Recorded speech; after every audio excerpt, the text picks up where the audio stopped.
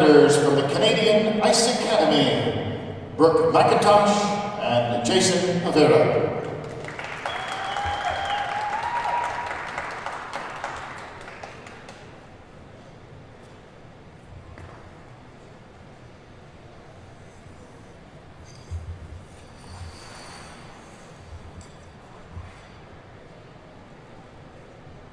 Ladies